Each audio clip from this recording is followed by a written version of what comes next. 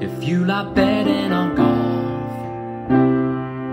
But everyone that you back misses the cut. Get some experts involved with all the stats and the tips and so much more. Cause it's the golf betting system, the golf betting system, it's the golf betting system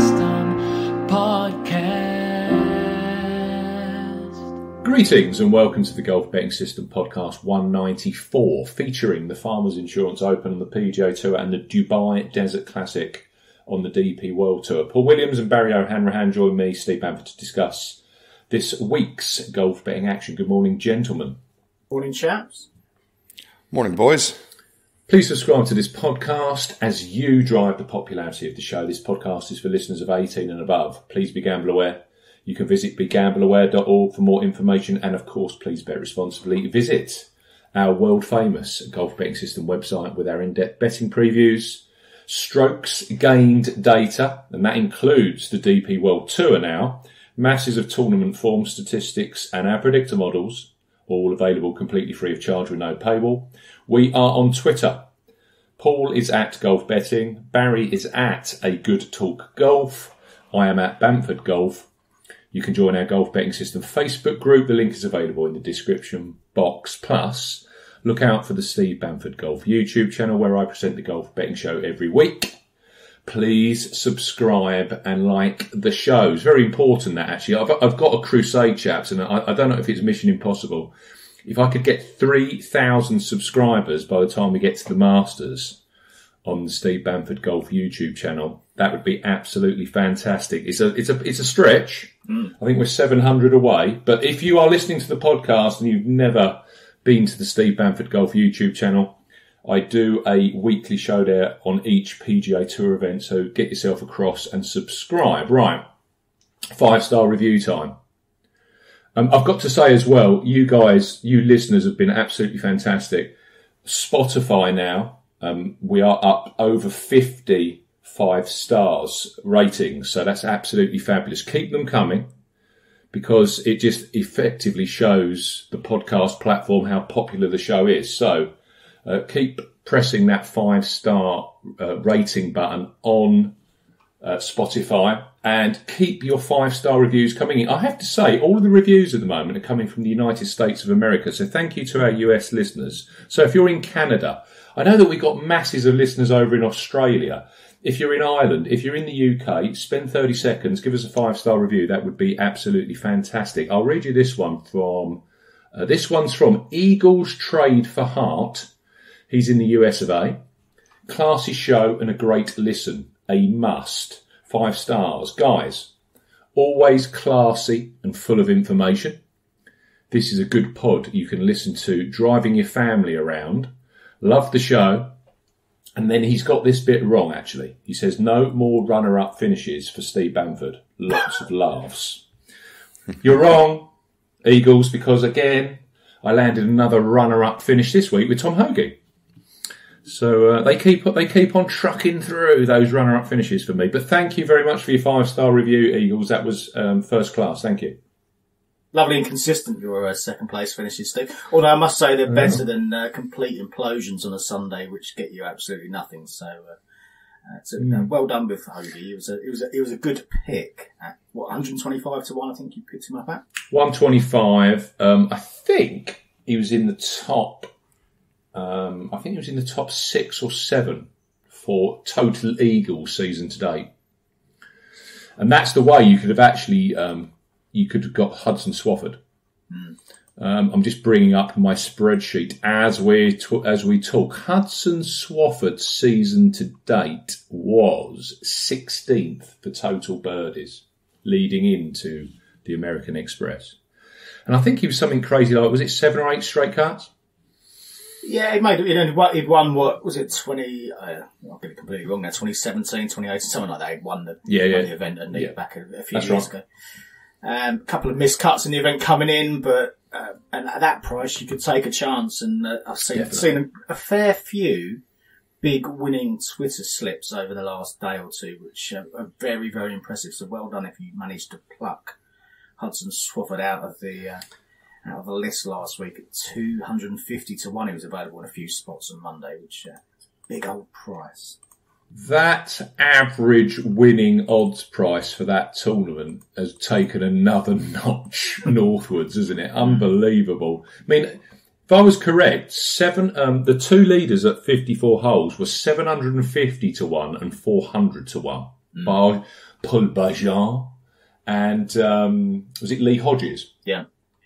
No form whatsoever. Although I must say, Barjon and Hodges both come up regularly on my strokes going off the tee stats. They're good drivers of the ball. Um, the average winning price before this week was 138 to 1 going back to 2010. So that's now going to be what pushing 150s. Yeah. And then you got, you know, you got people backing Patrick Cantlay and Jon Rahm at um, at nine to two, 11 to two, nine to one. It, it doesn't fit. it just doesn't fit. Now, if you were backing Jon Rahm this week at eight to one, I get that because you know it's his best course effectively, and it's a stretchy. Did you see him coming off one of the greens, going, "This is a this is an effing putting contest, a, a putting fest." Well, yeah, we could we could have told you that, Jon, before you before you arrived. That's that's that's what the American Express Bob Hope Yeah, lottery is, isn't it? Yeah, he wasn't saying that the year he won it, though, was he? He Just a bit frustrated last week. It's, um, Should we should we talk about the um, the Lowry and um, oh what have it and and Seamus Power double and how that was The. Ir- the Irish goodbye. what, what, what, what did we do to upset the um, the Irish gods there, Baron? too much, too much, too much weight of money on them.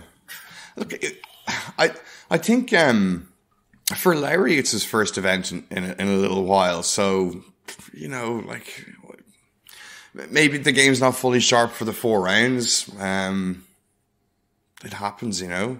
What can you do?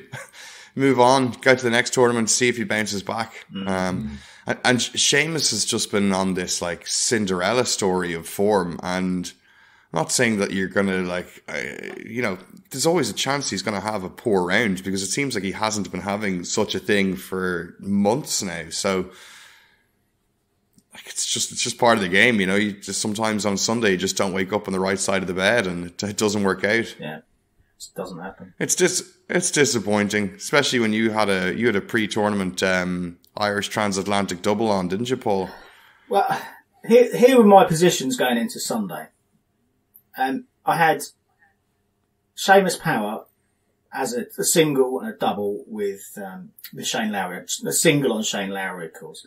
I had a single on Davis Riley, who's um, he was going reasonably well in the US. Um, a Top single, twelve or something, wasn't he? yeah, something like that. He, he was in with He the was hanging. He was hanging around. Yeah, yeah. He was in the each way each way fight. Yeah. Yeah, and you know, at, at the price, he was, you know, he was threatening a place. I had an each way single on um, Padraig Harrington as well. So Harrington first, he was going really well, doubled the last. Had he birdied the last, he'd have, he'd have been in a, a tie for sixth place, so he'd have got some uh, each way money back 200 to 1. So, so that one's gone. Um, Shane Lowry was favourite going into the final day. He triple bogeyed the first, shot five over, didn't even make the places. Seamus, I think, was second favourite going into the uh, into the final Yeah, day. he was. Um, yeah. He doubled the first and then didn't even make the places. Davis Riley triple bogeyed the first and didn't even make the places. so I, Sorry, Paul. This is hilarious. I, I I had a the the Lowry. Seamus double going into the final day. I backed it over a thousand to one the double. Um, in the final day, I made it just under fourteen to one for the double. Hudson Swafford was twenty to one to win his tournament, so it was more likely uh, that the Lowry Seamus double was going to come in and Hudson Swafford wins that golf tournament. Yeah, I didn't even get the each way part of either the singles or the double, and Swafford wins. Wow. Um, absolutely brutal Sunday. It's it's not even as if you get you're waiting a few holes for the uh, for the kind of inevitable um, hole that just kills your week. It was all on the first triple triple bogey, triple bogey, double bogey. yes, not a good Sunday, but hopefully we bounce back us golf punters, don't we? Hopefully this week will be far far far better. I'm just looking at Shane here going back to the Northern Trust in August. That was the one that Tony T4 Finau, then became T2 Finau because he got into a playoff with Cam Smith. He was sixth going into the final round there, finished 11th. Uh, BMW at Wentworth, seventh going into the final round, finished 17th. Alfred Dunhill Links, second going into the final round, finished fourth. DP World Tour Championship, fifth, oh sorry, first at 36 holes, fifth at 54, finished ninth. And then your Abu Dhabi debacle, second going into Sunday, finished 12th. So he does seem to be, I'm not saying that Shane Lowry is this, that and the other, I'm just pointing out facts. Shane Lowry at the moment isn't the best on Sundays. That will change because he's far too good a golfer. Um, and it's great that he's consistently knocking on the door. So a win is inbound, isn't it? It's coming. Just got Well, to pick the right one. Given, given how he played on the Saturday, and you know, he was, he, he was hitting greens for fun, wasn't he, on Saturday? Bogey free, five under, um, put himself right in the mix, right Mm. The condition, the conditions were right for him as Yeah, well. exactly. it was, it was tough, the wind, and that, that is Shane Lowry country, isn't it? yeah, he, he started the final day on the winning score and shot five over. Yeah, Thomas Thomas Pieters got the victory. He's now charged into the world's top fifty, which, as we all know, it's a position he should have been mm. in for a period of time. The one course, I, I, I would assume now that he's going to come across to America. The one course we've got to look out for with Pieters. I mean, Pieters in the States on these tough major tracks. I can remember the season he played over there. It was just a conveyor belt of top finishes. So if he does go over to Riviera, he's going to be a danger because I think he finished second there the year that Dustin Johnson won. yeah, So he's one to watch in the States, Pieters. yeah. you well, might you might find he's slightly underestimated, but Yeah, he's one to watch in general, isn't he? It was that sixth win now, I think. Um, it's not even 30 yet. It's um, first Rolex Series win as well. And as you said, he vaulted right into the, uh, you know, around about 30th spot in the world rankings, so Yeah. outside the top 50. That was uh, a Yeah. huge jump for the uh, for the number of points on offer last So he's going to be at Augusta. That's that. That card's now been stamped. Um, but yes, he's a he's a proper classical tough golf course player. So you know, watch out for him at Riviera Country Club. Watch out for him somewhere like a Quail Hollow. These these are the courses where Muirfield Village. These are the courses where Pieters could be a real danger. When he, I, I would assume it's going to be limited starts because he's not PGA to remember. He- He'll be getting in there on a top fifty exemption, won't he? Which I think would mean that he'd have to win to then be uh, accredited FedEx Cup points. yeah, It's one of those Will Zalatoris black holes when it comes to rankings. Yeah, it, it will certainly have a bit more freedom now, won't he? And as you say, WGCs and majors will be um, Yeah. part of his schedule, which makes a huge difference. And uh, you can you can see him pushing on. That's two wins in the space of a few months now, and um, we've always known he's a quality player. It's uh, it's just taken a little bit longer for him to get back into this kind of um, winning fold of uh, form. But he's there right now. One to watch, absolutely. So, congratulations to Swafford backers and congratulations to Pieters um, backers last week. Paul is clearly, um, he could be phoning the Samaritans after the show, but um, I think Barry and I are slowly talking him round from jumping off his local uh, local bridge onto the M1. So, just just stick with it, Paul. Don't forget, of course, This is this is it's, game. it's all about sensible gambling. Yeah, this is the game. We we know we know how to kind of ride the lumps and bumps with this, don't you? And, uh, Paul, I dust yourself you down and come back and have another game. we need you to be gamble aware, Paul. Absolutely. Okay. Right, I'm going to start this week with Farmers Insurance. Um, it's loaded. Well, to be fair, two fantastic tournaments this week. We've got lots to get through. Uh, Farmers Insurance Open. Now, first thing to say, and you're going to get tired of people saying this, it's a Wednesday start. Wednesday, Thursday, Friday, last round on Saturday. They're clearing the decks before the NFL Championship games on Sunday. Okay. I've never known that before. This is new to me, but clearly their rankings on a Sunday are absolutely abysmal when they go head to head with NFL championship games, which is what you would expect. Right. So you need to get your bets and you need to get your DraftKings lineups all sorted out over here in the UK by Wednesday morning at the latest.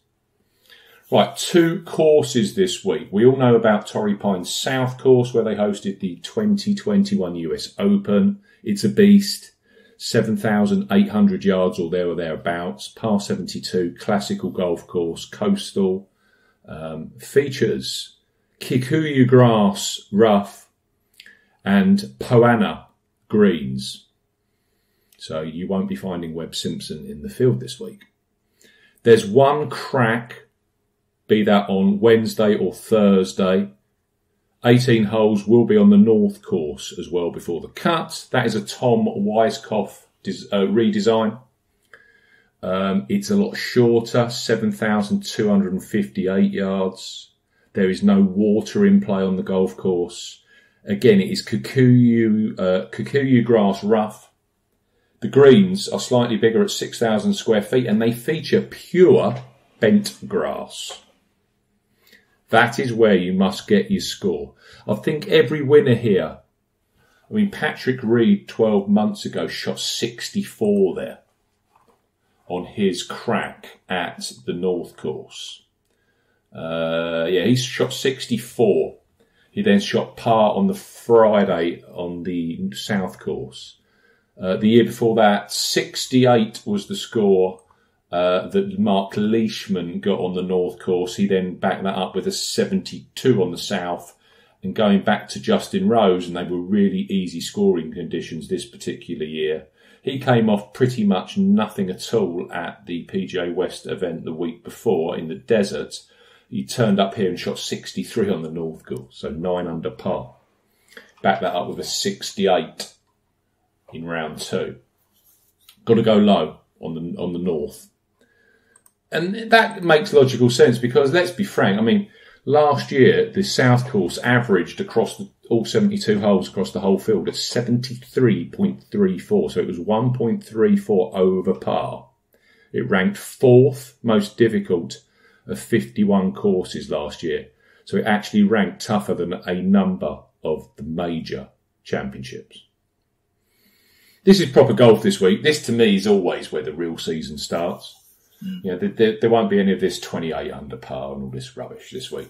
It's a genuine test, a genuine golf course, and the cream does tend to come to the top. Patrick Reed, 14 under last year. He actually won by four, I think it was, or was it five? It was four or five shots he won by. Yeah, it was clear, wasn't it? Um, there was that Ferrari on Saturday, wasn't there? And the whole, me- you know, the golf media and Twitter turned on him. He actually won by five from Tony Finau he was just an absolute. It was a Patrick. It was typically Patrick Reed. From wedge in, from iron in, he was absolutely fantastic in terms of his short game and his scrambling was off the off the charts. And that is the thing here. You can win it one of two ways. You can be a short game wizard, or you can be a metronomic ball striker. It's a you know, it's actually a typical classical golf course test, isn't it? Any kind of shape can win this. Leishman similar kind of way that he won in 2020 at 15 under. Could not hit a fairway for love nor money. Constantly in the Kikuyu grass rough. But from there on in, especially the chipping and the putting was absolutely phenomenal. He, he held off Jon Rahm by a shot. Then we go back to Justin Rose, 21 under par in 2019. Jason Day, the second of his wins, 9 under par when it was tough.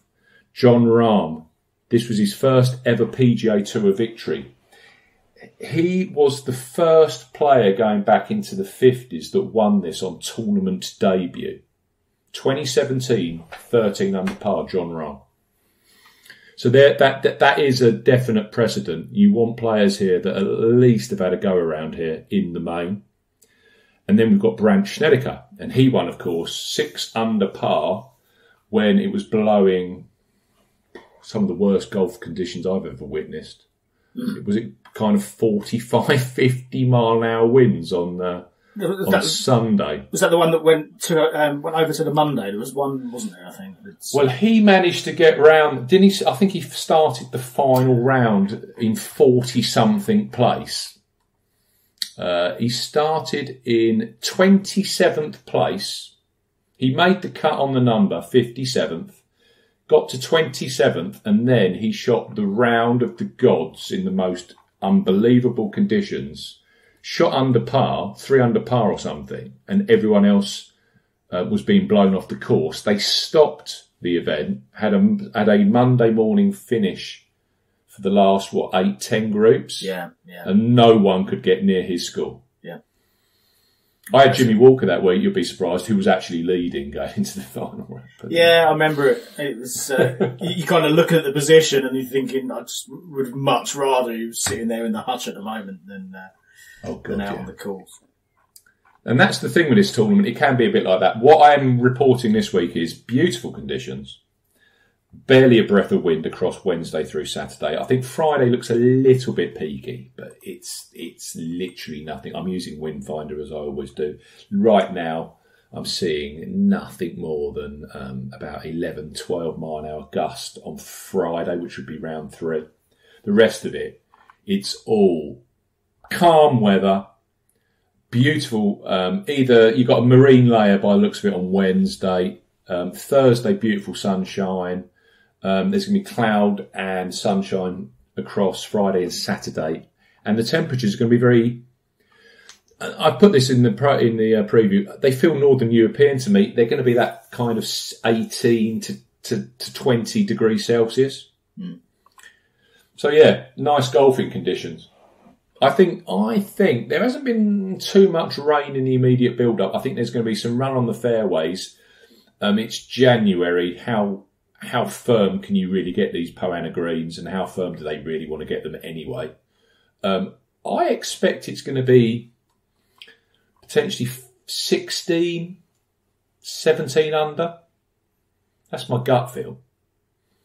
Yeah, if the A kind conditions a, a, a mid, it's, it's going to be the typical mid-score kind of finish on it. doesn't doesn't sniff of being overly brutal, does it, compared to some of the years? So, so if you can make a score on the north, um, and uh, the score's there to be made as you've just described, then uh, then yeah, you can get yourself into a, a kind of a mid-teens position by the end of the four rounds, give or take. Do you do you look forward to this tournament, Barrett? I like what you said earlier. This feels like the real start to the season or start to the year, the calendar year of golf um, on the PJ Tour. So yeah, I, I do. Um, this this one starts to kind of raise my eyebrows a bit and get me more interested. Um, hopefully, hopefully this is the, a sign of change as well in my ability to pick people that actually do well in tournaments. I, I seem to be I seem to be slightly out of synchronization with uh, with what's going on, uh, to to put it mildly. So, um, yeah, let's see what happens. I'm looking forward to it. Um, be interesting to see Rahm back again on on. Um, I, I don't know. I feel, I feel, you know, the way Rahm can kind of, I, I don't know, not to jump into picks, but I feel like this could be, um, he, he could be bulling ahead this week based on last week. You know, gets to a course that he was, it, it's different to what he was bitching about last week. Um, the putting contest only. So I'm interested to see.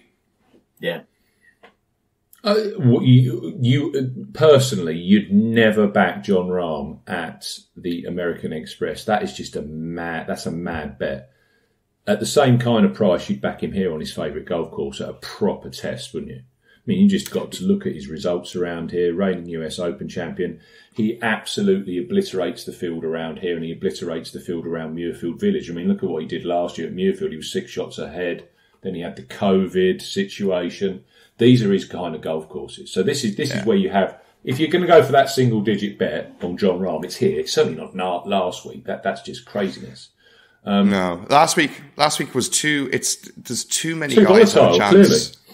There's too many guys have a chance to, to compete on a course that is on a, sorry, on a setup, uh, or a tournament setup that is that e- easy, let's say it was, you know, so it opens up the field. So if you're there at the start of the week trying to put lines through guys, uh, there's a lot less lines you can, um, write last week versus this week. You can strike off a lot more people and kind of uh, shorten the, the list down for who to make your picks from. I'm not going to take you through any tournament statistics because whatever I look at in terms of traditional statistics or strokes gain stats, as I said at the top, it's so volatile around here. You can have a putter and scrambler like Patrick Reed winning, or you can have a ball striker like Jon Rahm winning. Anything in between, it's more than possible.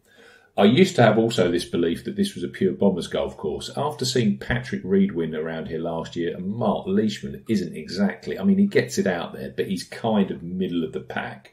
To me, it's just people that can play well on your traditional stretching golf courses. That's who we're looking for. Now, the, the advantage we do have at Golf Betting System are our strokes gained statistics. And I just thought I'd bring this to light actually. Um, some of you listeners might not have come and, and uh, used them at Golf Betting System, but we provide it all free of charge. It's all fully sortable on any device.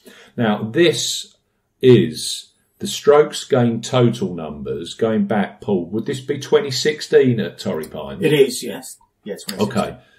I'm now listing through the top 10 strokes gained total since 2016 on the South Course, okay, at the Farmers Insurance Open. I'm only including people that have got multiple rounds, okay? Because if you look at the stats, there's three at the top that have only played a single round and then missed the cut. Right. 10. I've got 12 rounds, Ryan Palmer.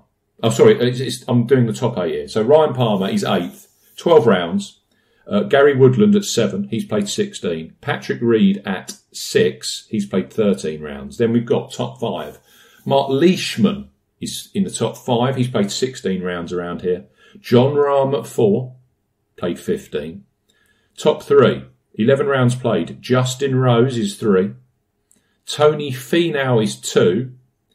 He's played 18 rounds around here and ranks second in the field for strokes gained total going back 2016. That just shows you how much Tony Finau loves this place. Number one, he's only played four rounds. He missed the cut and then he got a top 10 last year. Will Zalatoris. So those are the those are genuine strokes gained total stats on this golf course going mm. back to 2016. and Zalatoris. I'm, well, I'm just gonna I'm gonna shortcut everything here. I'm just gonna tell you I have tipped up Zalatoris, I've tipped up Tony Finau, and I've tipped up Mark Leishman. And it wasn't solely from those stats because I'll be honest with you, I didn't really look at those stats until pre-pot this morning. But that's just, that completely backed up all of my research, my gut feel, watching this year in, year out. Those three players fit this course perfectly. Yeah. Yeah, and a lot of it is just about that, uh, fitting the style of course, fitting the style of play required, fitting the, um, the difficulty. And it's interesting if you look at Zalatoris across a number of difficult, um, more stretching tracks and, uh, he really is starting to kind of show his hand in that respect. And um, it's no surprise to see him playing well in some of the major championships as well, because that kind of fits into the uh, to the narrative that's starting to form with him. So, um, so I, yeah, I can I can see see the logic very much so with Zalatoris as well on a tough track. I went eight places each way with Ladbrokes on Tony Finau. I took twenty eight to one. Um, I was surprised he was chalked up. Unibet had him up first show at thirty three to one six places. I mean, 33 to 1 on Tony Finau around here is a cracking price. Bearing in mind, I managed to get 30 on him for the US Open, and I was raving about it last year. Mm. And I had to take an anti post bet for that. So Tony Finau was 33s. I took the eight places, 28 to 1, because we know Tony does like a T4. But, you know, he's a winner now. He, he won the Northern Trust. This is a perfect golf course for him. And you've got to say one thing about Tony.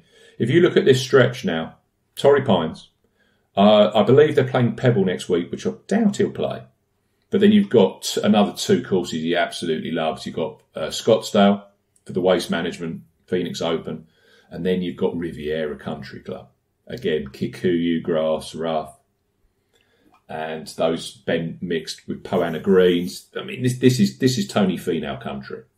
Interestingly enough, his one and only Corn Ferry Tour win was at the Stonebrae Classic, which again is in Hayward, uh, Hayward, uh, California. So he just loves the Golden State. So I'm in on Zalatoris at 28. Um, that price, there's there's no 30s now. It's all gone. He was generally 30s and 33s with the play, with the companies not offering extended places. So I'm happy with that bet. I think Zalatoris is perfect for this place. Jon Rahm, as we said earlier, the only player to win his first ever PGA Tour event at this Farmers Insurance Open. I could see Zalatoris in exactly the same mould. Bearing in mind, this guy was contending to win the US Open. Yeah, and he's oh, you know he was that he he hadn't even had a run on the PGA Tour at that point. He'd just come straight off the Corn Ferry. I mean, what's that tell you about Will Zalatoris? I picked him um, Sunday. I wrote the tip up on Sunday based on the fact that he shot that crazy 11 under 61 on the tournament course on Friday. And let's be frank, Will Zalatoris's um, his weakness is his putting. So if he's shooting 61, the putter can't be that bulky. Yeah. I also felt a bit for Zalatoris last year towards the end of the season. He he was having, you know, he didn't have any status to be in the FedEx Cup playoffs. That was damage. Well, that was basically making him making any Ryder Cup spot impossible.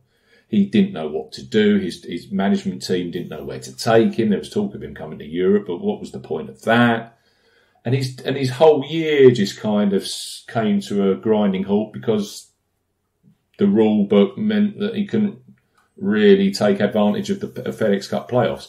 I think he hits 2022 fresh. Clearly popped in with the top uh, top six finish last week, and that isn't Zalatoris's game. Shooting 25 under around a, a desert golf course. To me, I think this is right up his street. I really do. So I'm quite excited about Zalatoris. I, I, and he was tenth. He, was in the top ten here last year on, on tournament debut. That just shows you everything you need to know about the guy. Three top eight major finishes, plus a further top eight finish at the WGC at St Jude last year, in a very short space of time. I think this is more of his bread and butter. Mark Leishman. Uh, so I got Zalatoris at twenty-eight to one again with uh, eight with Ladbrokes eight the full eight places each way on those prices.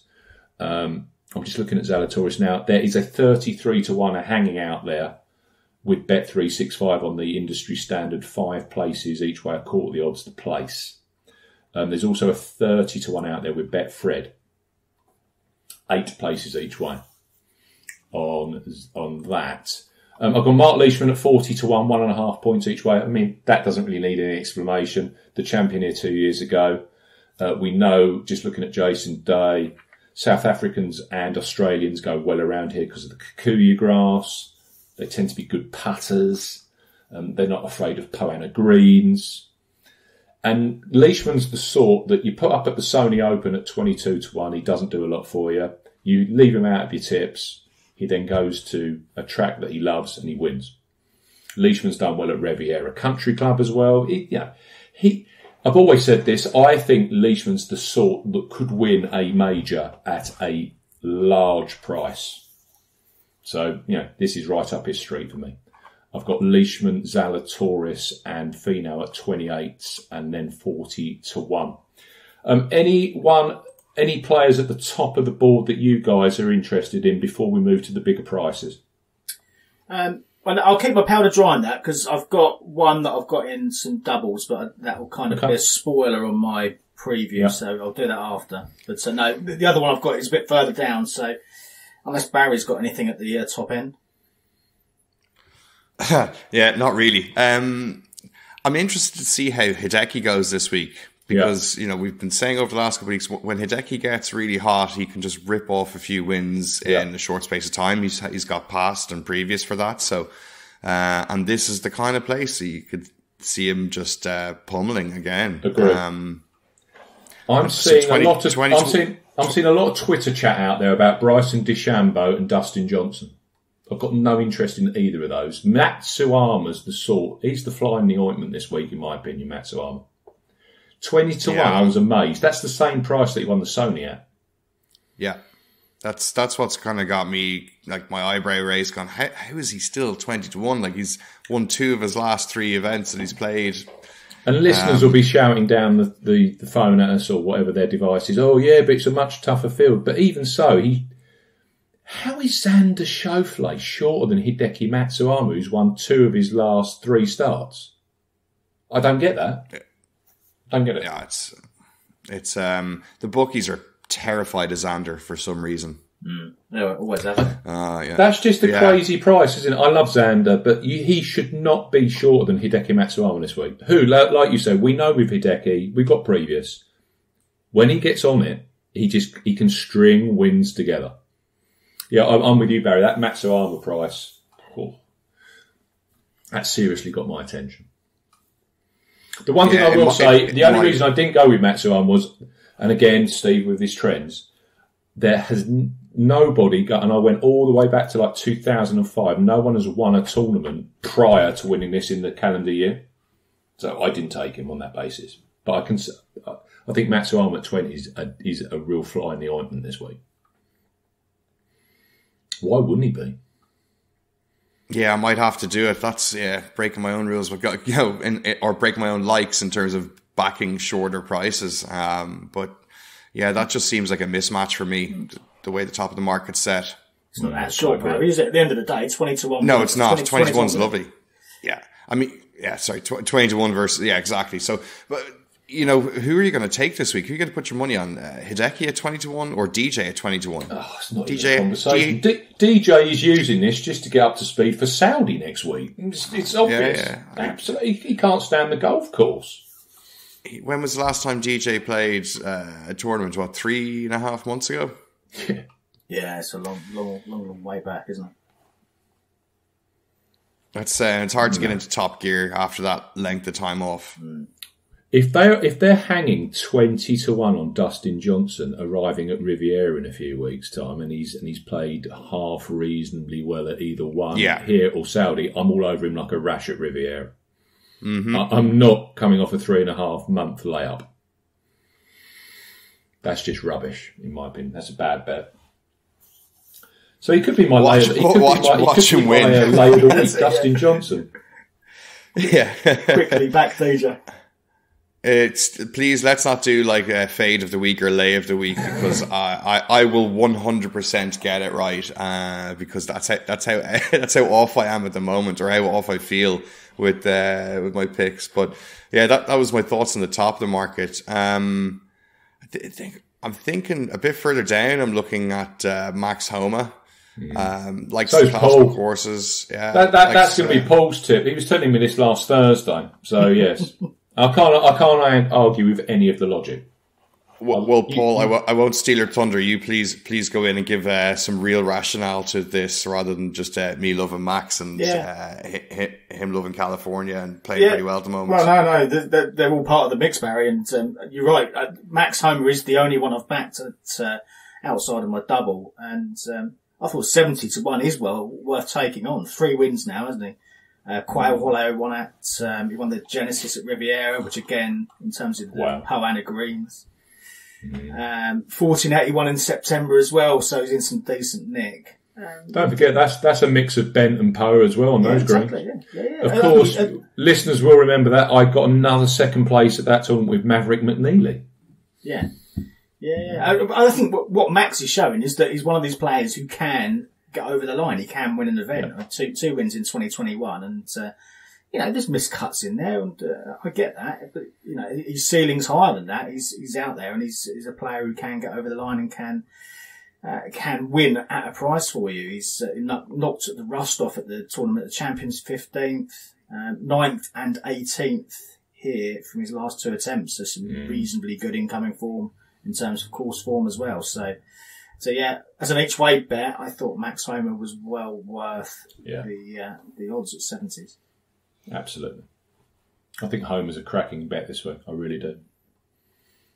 I didn't go with him, but um, yeah, I, I get your logic. The one I went with was Frankie Molinari.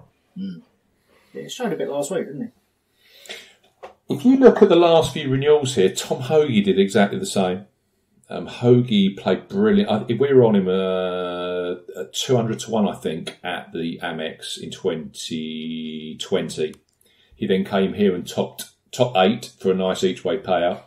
Um, last year, I'm trying to think the player that did it. He did exactly the same last year. There was a player that was really strong from tee to green the week before. Oh, it was Henrik Norlander. 150 to 1. He landed, um, I think he was tied second, or uh, tied third behind Fino. 150 to 1. You just look at the way Frankie played last week. And he, he had a, I wouldn't say he had a, a tiny little sniff of victory there as well coming towards the end. I just, I just think with Molinari and his history and the fact that, you know, he's won at Bay Hill, a long classical golf course. We know that he came very close to winning the Masters. Um, there's a lot of course correlation between where Francesco Molinari, who can be uh, clearly an elite major winner, um, plays well. So yeah, I, I just took him. Now that I've got a beef here, I took Betfred. Was it what price did I get, Paul? Seventy to one. Uh, 80s, I think. 80 to 1. 80 to 1 with Betfred.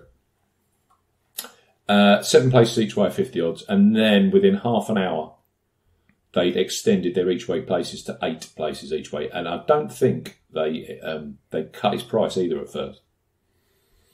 And we're seeing this more and more now, and I think it's becoming a problem with golf punting, especially on a Monday.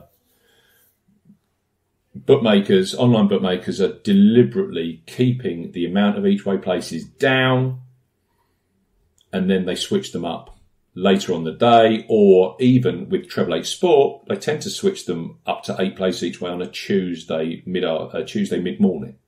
I just think that's disingen- disingenuous. I really do. If you're going to put a market up there, you know, fair play to Sky Bet, fair play to Paddy Power, Betfair Sportsbook, fair play to Boyle Sports even. They go 10 places each way, Boyle Sports, and that's it. They're not changing. Unibet, they only offer six places, but again, they do the same. They put their market out there, they put their prices out there. Better way, chaps. It's a level playing field from when we open the market to when the market closes. You're getting more and more of these bookmakers now. They're constantly changing their each way offering, trying to reduce the amount of savvy value hunting punters on a Monday. That's just wrong. It's not good. I also say La- uh, Coral and Ladbrokes again, eight places each way on both events this week, and those terms will not change as soon as they open that market. That's the way That, you know, they're actually bookmakers. They're, they're offering a bookmaking service. These guys that are constantly switching throughout the day on their each way terms is disingenuous. And as you said to me, Paul, and we've said this on, it must cause so many customer service issues. Yeah. Must be unbelievable. Well, it is. I mean, from, from your perspective, you know, you, you've, you've placed your bet at seven places each way. Um, Yeah. You take a look half an hour later and it's eight. So what do you do? Yeah, do you, so you- I, I went to pick up my son from the childminders, got back to my desk, looked at, oh, it's eight places all of a sudden. It's the same price. so, so how many people then go straight onto the live chat? I want to cancel that original bet and uh, I want to re-establish it at the new price. No, you can't do that. Or yes, you can do that. I mean, whether some of these bookies will actually make an exception if you're a good customer, who knows? Um, but ultimately, it causes a problem. You know, you're you you're unhappy with it. Um, also, you know, the alternative is you get to the end of the um, tournament and you've seen that these places are offering more more places uh, than you potentially got, and you're unsure yourself as to whether you got six or seven or eight places. You know, and uh, And, you, and, and this is the point, Paul. You you know exactly what will happen when when Francesco finishes sole eighth place on on Saturday, or in a two way tie for seventh on Saturday. Yeah, yeah, I'll be absolutely raging yeah, because if I'd have left my bet 20 minutes, which would have meant that I had to leave my publishing another 20 minutes for people to actually go through this stuff, yeah, I'd have actually got the eight places each way. Yeah. It's just ridiculous. Ridiculous. And I, the, the problem is you're trying to second guess what the moves are going to be, and I, I can see why they're doing it. I can see that they're trying to, um, you know, kind of mitigate their um, position against the sharper punters who are trying to get that early value with the player's price um, in combination with um, with the each way extended places. So by offering less places and understanding where the, the, the kind of the bookies or, or the, the, the punter direction is going to be for that week, the bookies can adjust. But it doesn't take away the frustration. And ultimately, yeah, it's um, it's a customer service issue. It's a customer service issue that results in um, further issues down the line, and everything's a bit disjointed. So frustrating, Steve. And you know, from your perspective, frustrating. And it's not just one bookie that's doing it. There's a few of them um, that are changing their positions during the course of the first day or two. Um, or Will, William Hill, Paddy, uh, William Hill, Treble Eight Sport, and Betfred. They're the three. All of the others are opening up their market, each way terms, and they never change. So yeah, we'll, we'll keep We a close to- eye on that moving forward because it's not right. It's, it's not good at all.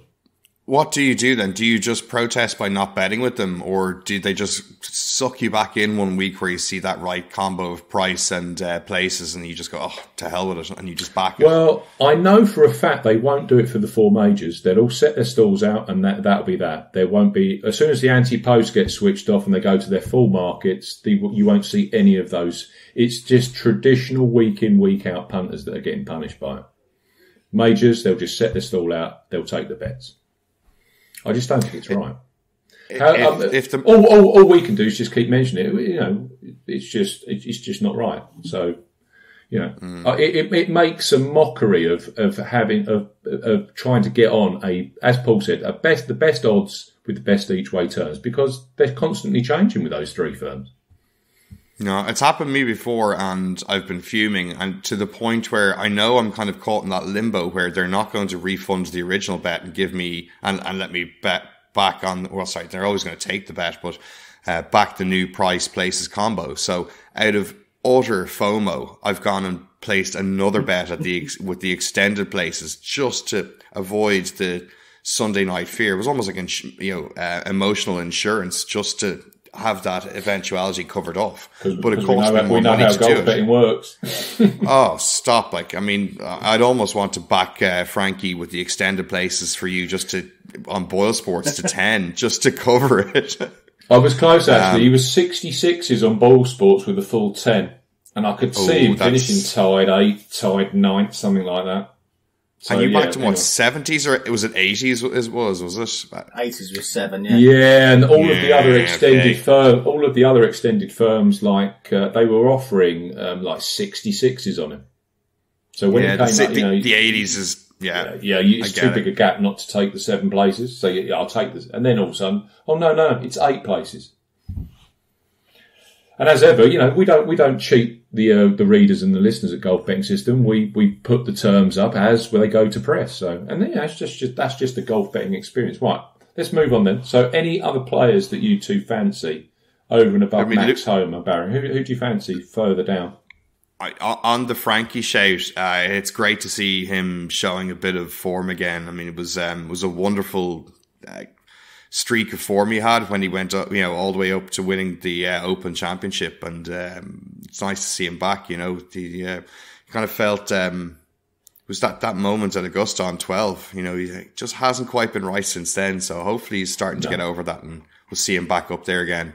Because it's a thing of beauty when thing of beauty when he's striking the ball so well, just hitting it He is 181st in the world rankings right now. And that's after a top six finish last week. So he must have been well over 200. I mean, that isn't Francesco Molinari, is it? He's a top, you know, what was it, top 20 player in the world Yeah, at his best, yeah. Yeah. at his best, yeah. Mm. I think you're getting value at that price. Who else for you, Barry? Anyone? No, nobody's screaming at me yet. You'll, you'll tweet out some selections if you've placed them, yeah? Oh, I don't know. Like, I mean, pu- publishing myself for uh, public ridicule is just, it's not, We- not we my idea of week on here, enjoyment. so, if I have any epiphanies, I will, yeah. But I thought you um, might be over a Cam Davis or one of these guys that um, that ticks all the boxes for driving the ball a long way. I need I need to look back at a couple of the bets in the last couple of weeks have disappointed me and see if there's any value in um, grabbing them this time round. Maybe I just mistimed them, so I need to figure out what's gone wrong. Right, let's move forward then. Let's move forward to your event, and I, I am going to say the sponsor, Paul. I, I've been trying to avoid saying the sponsor, but I need to really. The Slync.io Dubai Desert Classic. Slink Slinkio Dubai Desert Classic. I I don't- don't, know. Is it Slink.io Dubai Desert Classic? Well, listen, I, I'm going to call it the slink.io, but you've, you've now got me thinking as to whether I'm, I'm completely off the, uh, off the scent on this one. Um, I'm assuming that .io is to do with the, the TLD on the domain. So a slink.io is, yes, let's go with that. Dubai Let's Desert go Classic. Slink. Paul, let's talk Slink.io Dubai Desert Classic. Yeah, Uh, they're, they're a logistics software provider, apparently. If you're remotely interested, but they're a fresh sponsor for the direct uh, the Dubai Desert Classic this week.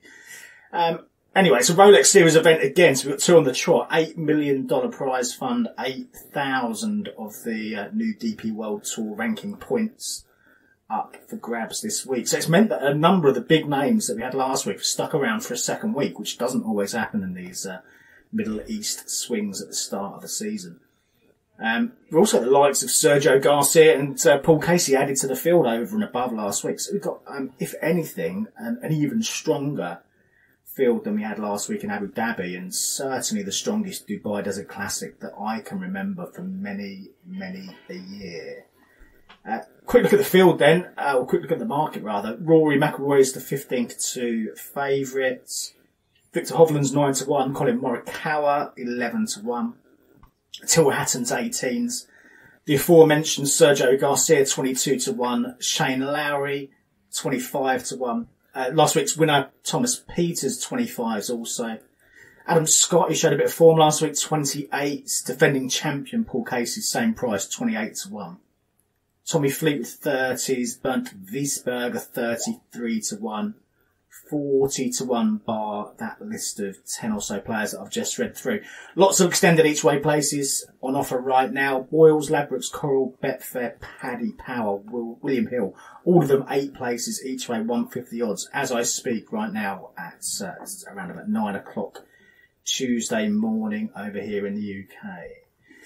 Uh, the Dubai Desert Classic, once again, it's being played at the Majlis course at Emirates Golf Club in Dubai. It's a familiar course. We've seen it for many a year now on the tour. It's been extended of late. There's three of the holes which I've listed in my preview have been extended a little over last, or the last couple of seasons. It's now 7,424 yard, par 72. So it's eking up in length. I can remember when it was kind of a 7-2 and it's, uh, I'd have classed it as a kind of a, a, a mid-length par 72, but it's getting a little bit longer now. So uh, um, it's naturally it's been uh, extended to, to cater against the, uh, the, modern golfer, I guess. A typical desert affair though, exposed fairways, Bermuda TifEagle greens, speedy 12, 12 and a half usually on the stimp. Um, bit of a lopsided course. The back nine is longer, but it tends to be where the scoring holes come into the equation far more. There's a short par four on the back nine. There's three reachable par fives if you get your drives away out uh, on the back nine as well. So you can really can make a score on the back nine here at the Emirates. A quick look at some previous winners. Let's go back to 2010. Miguel Angel Jimenez won at 66 to 1 in 2010. Alvaro Quiros 16 to 1 a Spanish treble with Rafa Cabrera Bello winning in 2012 at 125 to 1. Uh, Steve Gallacher won in 2013 and 2014 at 70 to 1 and 45 to 1 respectively. Rory McIlroy won at 7 to 2 in 2015, having previously won in 2009 also. Danny Willett 40 to 1, Sergio Garcia 20 to 1 with the next two. Haotong Li won in 2018 at 110 to 1. Bryson won in 2019 at 10s. Lucas Herbert was a 200 to 1 shot in 2020. And then Paul Casey came over from the Amex last year, um, having finished 8th at the Amex, mopped up here at 25 to 1. 12 months ago. The weather's set pretty fair this year. Um, calm on Thursday. Should be really scoreable on Thursday. We may get 15, maybe 20 miles an hour uh, winds at times uh, on Friday through Sunday. It looks like a steady wind though. It doesn't look so gusty, and that's kind of more as to what you should expect around here. This doesn't tend to be a flat, calm course. It really is quite exposed, and you usually do get a bit of wind, particularly in the afternoons. So um, 15 miles an hour isn't to, you know, anything um, extraordinary here, particularly if it's steady rather than um, blowing 10 and then gusting up to 30, which doesn't look to be the order of the day. So um, I still think we're going to see some scores um, made around here. I mean, you, you, can, when the conditions are really good, you can make a, a really deep score. Bryson was 24 under um, back in 2019, for instance. Lucas Herbert, 9 under when he won couple of years ago. So if the conditions really are tricky, then um, it can make a pretty significant impact to the uh, to the winning score. Paul Casey last year 17 under. I think maybe 19, 20 might be the number this year, give or take a shot or two. And that kind of feels where we where we are coming into this week. Um, it's not going to be flat calm, but it's not going to be, it's not going to be Abu Dhabi like in terms of um, difficulty um, and wind gusts, which will impact scoring. Um, we've got lots of historical stats. There's loads listed, listed on my preview this week. If you look back through, and if you go back to pre the strokes gained days, greens and regulation was always a really good pointer for this. Um, and also having had or having experienced a strong greens in regulation week prior to winning here at the Emirates was also um, a really, really good indicator. So you used to be able to go through the stats and say, well, who's played well, who's who's had a good greens and regulation performance around here at the Emirates in the past, and uh, kind of start to form your your um, shortlist that way. And I still wouldn't put punters off doing that, even though we've got um, all of the strokes gained data, of course, nowadays. Um, looking at strokes gained though, and um, as Steve alluded to right at the start, we've now published um, the last three years worth of strokes gained data for the Dubai Desert Classic on the website, aggregated, so you can see who historically has played well. Let me run through the top. Let me run through the top top six for the listeners. But I do urge you come to Golf Betting System. Support the website. It's all free. It's all fully sortable. So tee to green, strokes gained, ball striking. Who's the best putter? It's all available here. Uh, top six. Sergio is at six. Thorbjørn Olesen at five. Lucas Herbert who won here. Well, clearly Garcia did as well. Herbert a winner in. Uh, he, he's fourth. Laurie Canter at three, Robert McIntyre at two, and Paul Casey at one. There you go. Yeah, so as it is with the strokes gained stuff on the DP World Tour, um, we've only got three years worth of data. So as we continue to collect this over the next year or two, it will start to grow in, Mm-hmm. um, grow in its complexity, but also grow in its uh, kind of gravitas, I suppose. Um, the thing to point out with um, strokes gained, if you look at the winners, so Bryson, Herbert, Casey from the last three, there really is some strong correlation, and this kind of ties into greens in regulation to a degree. Fourth for strokes gained off the tee for Bryson, ninth for strokes gained off the tee for Herbert, sixth for the same stat for Paul Casey on their way to winning. So sixth, ninth, and so sixth, ninth, and fourth.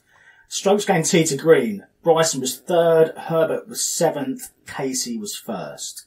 So it was all about off the tee. It was all about strokes gained tee to green for the wins from those three players over the last three years. So if you're combining, looking at players who are strong in both those aspects, and both historically and also coming into this event, and those who've potentially got a good historical greens and regulation performance here, you probably aren't going to be far off the mark, um, unless every, unless every trend gets blown smithereens this week. Um, going back to 2010, each of the winners had a top 10 finish in one of their last nine starts. So if you're looking for players with good incoming current form, that's not a bad start either, really. Um, current form pretty is a good pointer. Um, the only players that really start to become difficult when you look at that kind of number, Lucas Herbert, whose top 10 was reasonably distant, but a lot of the others um, you could pick out as uh, as having had a decent uh, a decent spin in the recent weeks. Um, in terms of course form, that's another good pointer. And again, going back to 2010, the only player who didn't have a top 20 here at the Emirates in their um, in their recent history was Haotong Li. Um, the rest of them all had a top 20 finish. And that kind of spills into debutants as well. I mean, you may get a place out of a debutant. You men- mentioned Laurie Canter just a minute ago. He, uh, I think he finished fourth on debut last year. Um, but they tend to be the exception rather than the rule. You get a lot of players who've played a lot of events, or at least one event here, who then go on to win, rather than players that are seeing this course for the first time. So I think you can boil it all down. It's one of those events where you could probably put a number of factors into a mix and, and come back with a reasonably good shortlist and based on all of the known factors and, uh, just hope they don't get blown out of the water. So a good long game, bit of experience, and you know, a recent enough top, top 10 performance. Um, playing well, scoring well on Bermuda grass greens, TifEagle greens. We see quite a few TifEagle greens dotted around the, uh, the DP World Tour schedule. So players who get on with that kind of surface, uh, again, you- you're going to need to make some putts this week. You're going to need to get to that kind of 20 under number to, to win. So, uh, Um, I don't think there's any room for being a particularly poor putter um, on the week, but um, yeah, lot, lots to add into the mix. Um, boiling it all down, I've backed five in total altogether, and um, I don't know. I, I started at the top, and I really did struggle to get rid of Rory McIlroy. And pretty much every angle that I've uh, looked at this week has led me back to McIlroy. Um, I kind of said at the start of the year, I'm going to embrace what the stats are telling me. The stats are telling me Rory wins this. Um, I've backed Rory to win this. He's the favourite, 15 to 2. Um, I don't tend to go towards the top end of the market like that, but um, I'm struggling to see past him. So put my money where my mouth is and I'll back him. I've, I've, I've backed him 15 to 2, win only, 5 points. And if you look at the numbers, look, look at his history here. Two wins from 11 starts.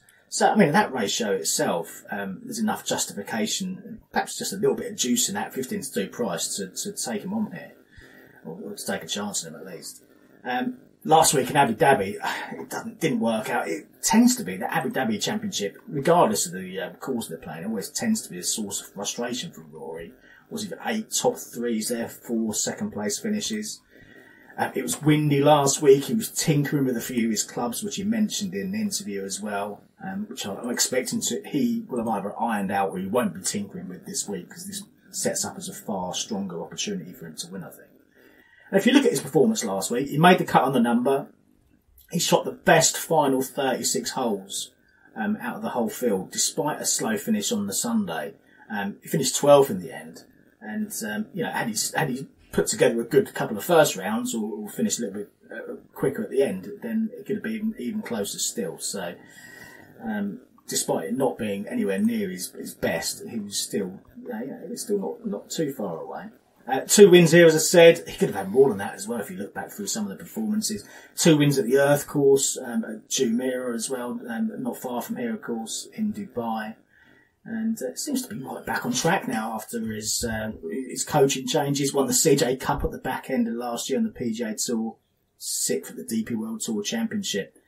I think his game was just starting to warm up. Um, was he seventh for strokes gained off the two last week, fifth for strokes gained tee to green, and that was despite nearly missing the cut as well. So, so yeah, I'm, I'm in on Rory. Um, I mentioned earlier um, a double. I've backed a win only double on Jon Rahm and Rory McIlroy, 15 to 2 apiece.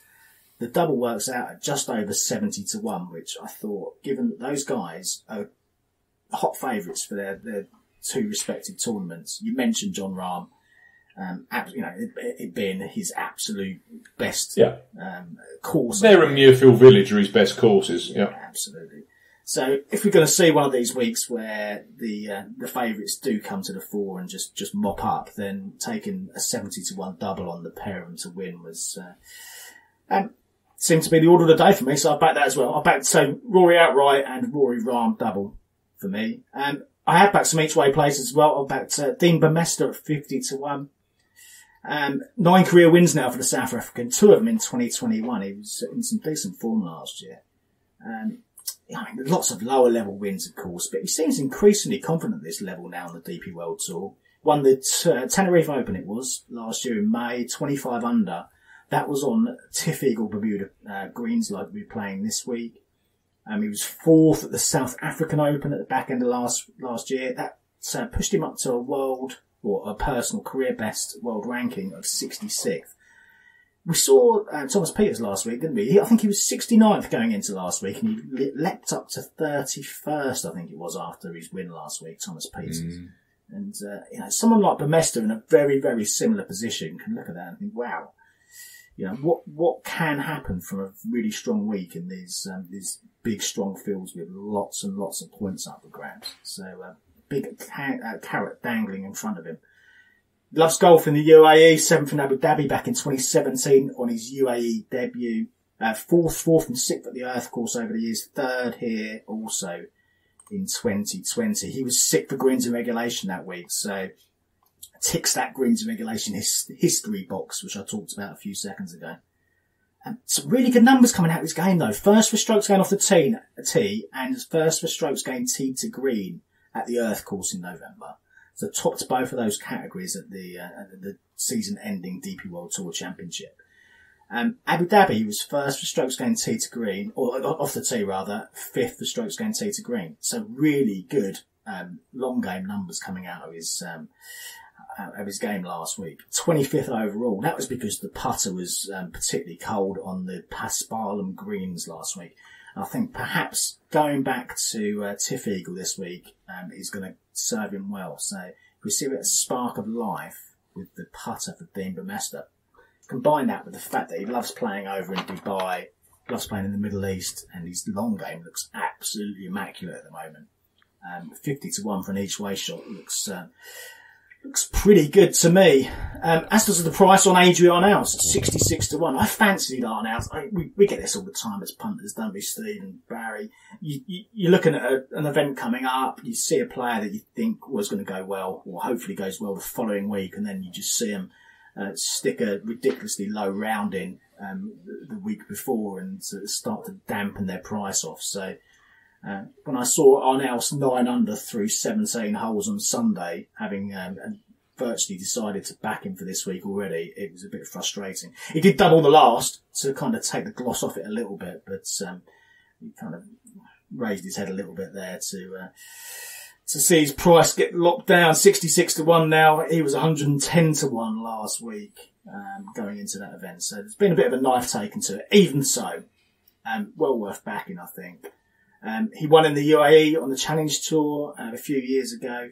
He's been close to winning. He was really close to winning the Spanish Open, wasn't he? Um, it's only that Rafa Cabrera Bello dodgy drop um, and uh, subsequent playoff defeat that uh, stopped him winning back in the autumn last year. And I think his price would have been shorter this week anyway. He's got income, well, he's got course form of 29th, 3rd and 9th. So, um, that's particularly strong. First two attempts there, they're 29th and the 3rd. He was first for strokes going off the tee, both attempts. He was first for strokes going tee to green, fifth for strokes going tee to green in those two events. Mm. Um, what we've seen since, I mean, we always had him down as a decent ball striker. What we've seen since is that he's become an incredibly good putter. Um, 2020, he was 143rd for strokes gained putting. Last year, he was sixth for strokes gained putting. I mean, that's an incredible improvement in terms of his mm. flat stick performance. So, putting it all together, if you can get anything like the, st- the strokes going off the tee and tee to green performances that we know he's capable of doing here, combine that with the fact that he can putt nowadays, um, Adri Arnaus at 66 to 1 seems to be a, uh, a very good combination. So Arnaus is in, um, same price. Lee Westwood's in 66 to 1. Twice a Rolex winner for Westy. He knows how to convert these events. I don't think he's quite finished yet. Was he 48 now, Westy? I think he's got a year or two left in him before he, uh, he finally starts to uh, slow things down a little bit. Fit as a fiddle still, I think he's uh, still capable of going out and competing with some of these, uh, some of these boys. And you look at his performance last week, um, and you mentioned to me off mics Steve, that um, his long game stats last week were really good at Yas Links. Um, and they were, weren't they? I mean, 10th for strokes going off the tee, 6th for strokes yeah. going approach, 2nd for strokes going tee to green. Mm. Really good. Um, 20th overall for, for his first outing of the year. Um, and that was good after a couple of months off. He, he down tools as he always does do, um, over the, over the winter period. And, uh, and came out looking particularly strong. I think he can push on this week on a course where he's recorded 10 top 10 finishes over the years. One at the Earth course as well, one in Abu Dhabi. Um, ultimately, it's going to come down to his putting, but um, again, we were talking off mic. I, I, I, think his putting over the last year or so, year, 18 months, has looked far more fluid and far better than it has done for a long time. Mm. Um, TifEagle Bermuda seems to suit yeah, all adds up to a punt on Lee Westwood at 66. Um, finally, one more longer price. Bjorn Olesen I've backed at 125 to 1. Um, previous Rolex Series winner, previous final series winner when they used to have that on the, what was European Tour at the time. Previous Dunhill Links winner. He's won some big events, Bjorn Olesen.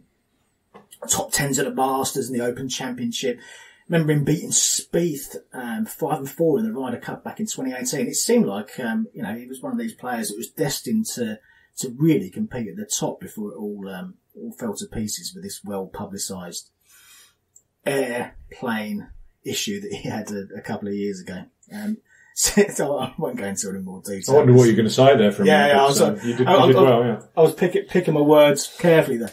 And it's, it's all been cleared up. He, he's been cleared. Um, the Yeah. court case has uh, has been and gone December. He can just get back on with his life now.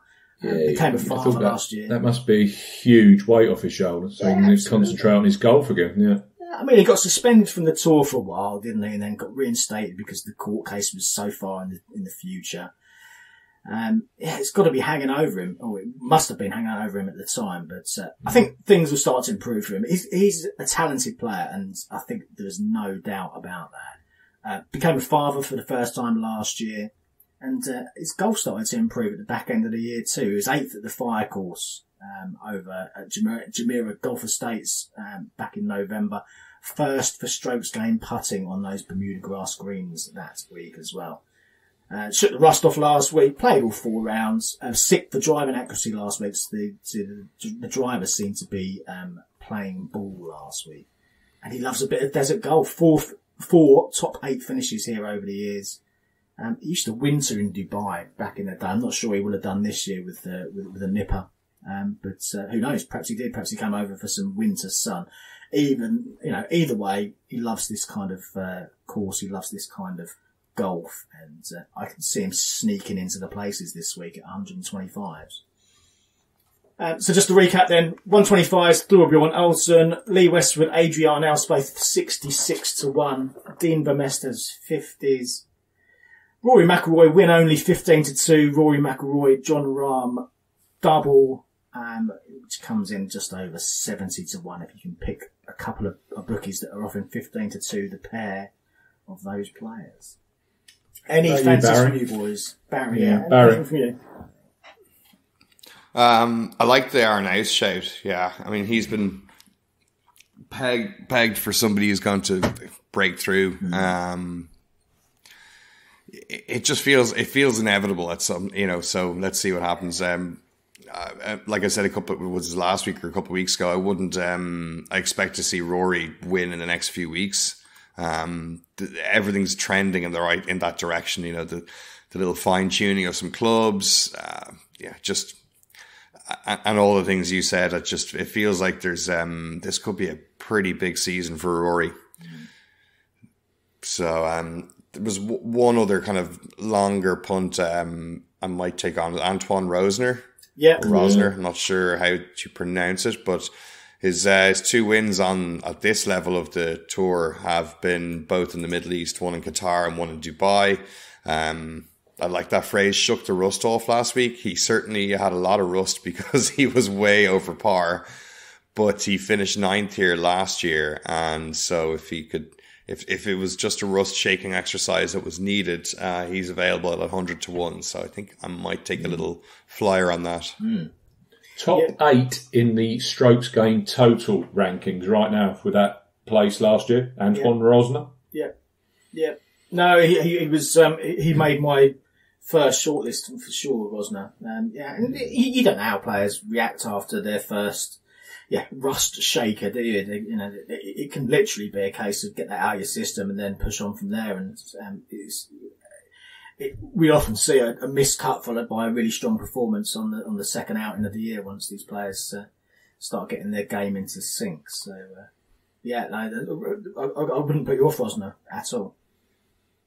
I've gone for three at those deeper prices. I, I managed to scrag Dean Burmester at 50 to 1 for the reasons that um, Barry has already mentioned and you mentioned in terms of his world ranking and stuff like this. Um, he's also got a very good desert golf record. Um, I'm also on, I mean, this is a, this is a, probably a first, I think, isn't it, on the podcast? I'm on Adri Arnaus, Arnaus. Yeah. So it's, he's bound to miss the cut. Um, I've also gone for Lee Westwood. We're in serious trouble. Uh oh. Sink or swim together, boys. the, the weeks we're all aligned, it just it just sniffs a disaster. That's, I've got 66s on Westwood with Betfair Sportsbook. I've got 60 to 1 Adri Arnaus with William Hill, eight places each way. And I managed to scrag 50s yesterday on Burmester. So those are my three. Should Sounds be a great week all- of golf. yeah, yeah. Sounds like we're all very much aligned. Now, looking forward to this. The two really good strong events, aren't they? And uh, and uh, yeah, some good golf to look forward to. Of course, Wednesday. I'm sure you guys don't need to be reminded. Listeners don't need to be reminded. Wednesday start for the uh, the Farmers Insurance Opens. Don't get caught Yeah. out on that one. Saturday is my birthday, so what could what could go wrong? Eh? I reckon I reckon I'm I'm going to have someone in contention coming down the stretch Saturday night after celebrating my birthday, Let's hope so. And then of course Sunday morning you can watch some more high quality golf coming in from Dubai. So yeah, it should be a great good weekend of golf, I reckon. I hope your bets go well, chaps. Yeah. Best of luck, boys. Cheers, guys. Have a great week. Best of luck to all the listeners and the bets. Absolutely. Best luck to everybody. And uh, we'll see you again next week for the Golf Betting System podcast. Goodbye. If you like betting on golf, but everyone that you back misses the cut, get some experts involved with all the stats and the tips and so much more. Cause it's the golf betting system, the golf betting system, it's the golf betting system.